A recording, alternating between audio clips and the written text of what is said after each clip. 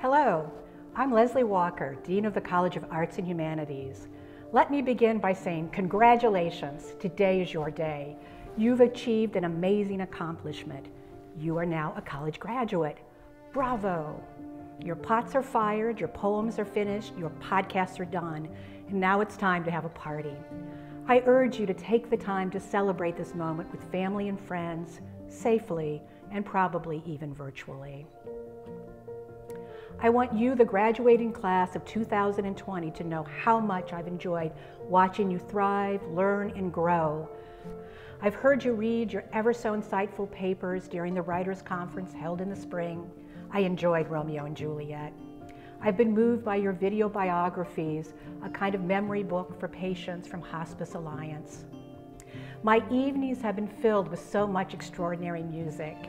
I have purchased many a Christmas gift from the AIGA pop-up shop. You've inspired me with your student-produced Martin Luther King Day celebration. The Root magazine is a gorgeous example of a collaboration between photography students, communication in Spanish with the Racine community. And one last example. Straylight has brought extraordinary writers to our campus and to the pages of the student-produced publication. Wow, what incredible highlights. This graduation is like no other. Indeed, we are living through historically unprecedented times. Over the last few months, we have all developed new skills because of COVID, an understanding and facility with technologies, mental toughness, and a greater appreciation for all of our relationships and human connections. So in wishing you well as you head into your futures, I urge you to hold on to these hard-earned lessons. This nimbleness of mind, resilience and grit, and a renewed sense of the importance of community and the common good. So dear graduates, from the College of Arts and Humanities, all your professors, the staff, and myself, we wish you much success both personally and professionally. And please, please keep in touch. Thank you and good luck.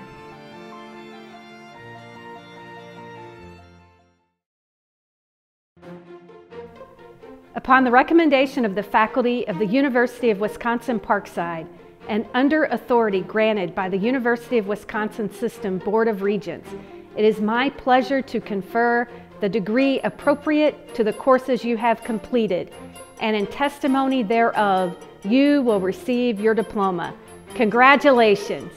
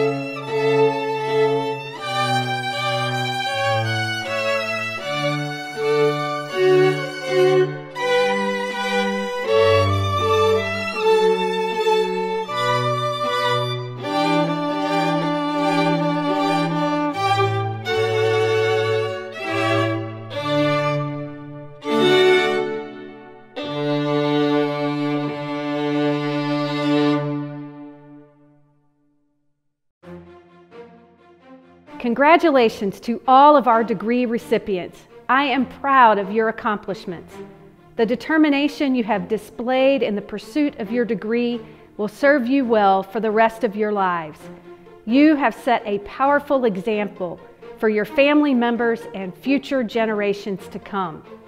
And now, I ask members of the University of Wisconsin Parkside class of 2020 to rise. In the time honored tradition to signify your graduation, you may move your tassels from the right to the left side of your cap. Now, please turn and face your loved ones UW Parkside faculty and staff, family and friends, I proudly present the University of Wisconsin Parkside Class of 2020.